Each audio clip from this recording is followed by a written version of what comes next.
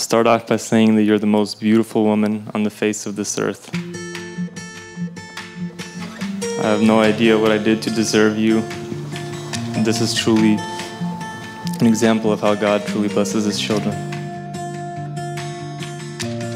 My darling Daniel, I've spent hours contemplating the words to say to you, but no combination of 26 letters could ever accurately capture even a sliver of what this feeling is.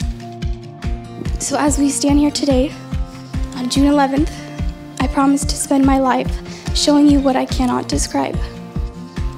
To show you the love that God has given us through His Son Jesus Christ. When I see the smile run across your face and the sunrise lights up another day, I believe, I believe. Today is the day that I vow to you, my love, not just for today, but forever, for better or for worse. I vow to place all your needs before mine. I will love and protect you with all the strength that God gives me. I promise to be your second half and best friend. I won't let a problem go unsolved. And I promise to lead you and our family only towards Christ.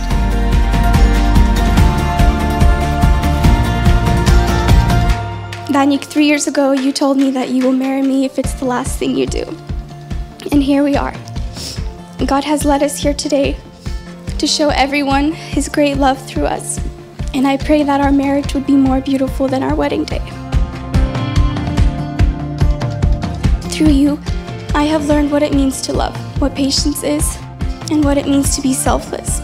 You give me such joy, baby, and I can't believe that I'm the one that has been blessed with such a man to hold my heart. So I choose you, again and again, at the start and finish up every single day. No matter the season, no matter the year, I choose you to struggle and succeed with, to fight and make up with, to love and grow old with. I choose you to always be by my side for the rest of my life. I love you, Daniel Mice.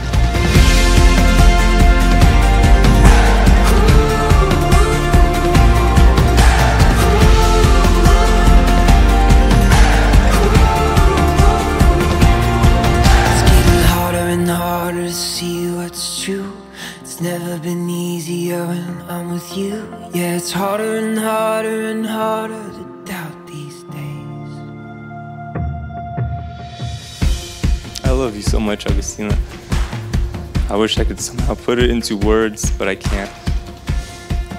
But what I will do is spend the rest of my life showing what my words will never be able to.